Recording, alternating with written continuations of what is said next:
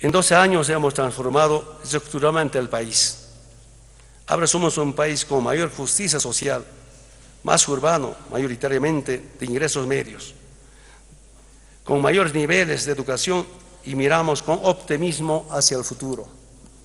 Como ya es costumbre, el presidente Evo Morales brindó un informe mensaje ante la Asamblea Legislativa Plurinacional y al pueblo boliviano, el día en que Bolivia celebra el Día del Estado Plurinacional. El primer mandatario destacó los logros de los 12 años de gestión, pero también dio a conocer los cinco compromisos para el futuro inmediato.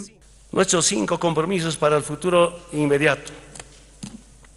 Primero, convertirnos en un país industrializado, en pequeña, mediana y gran empresa. Segundo, garantizar la salud gratuita, eficiente y oportuna. Será importante la participación del Encuentro Nacional de Movimientos Sociales. Tercero, elevar la calidad y la tecnificación de nuestra educación. Cuarto, mejorar y orientar el empleo de la juventud.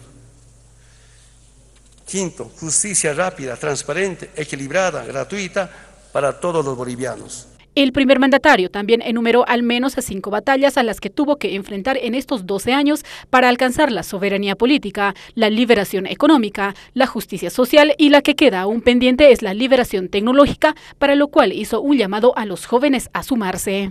Si queremos seguir siendo políticamente soberanos, económicamente independientes y socialmente justos como hemos sido hasta ahora, es preciso que a estos logros nacionales, a esas victorias nacionales, a las, las reforcemos y profundicemos con tecnología propia, con tecnología aplicada, con visión nacional y desarrollo.